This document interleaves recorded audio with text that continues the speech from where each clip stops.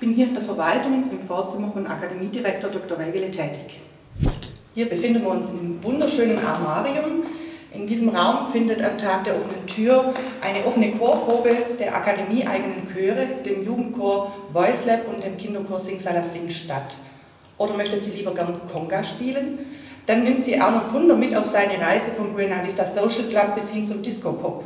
Und wenn Sie Ihre eigene Stimme mal anders kennenlernen möchten, dann empfehle ich Ihnen den Beatbox-Europameister Robeat.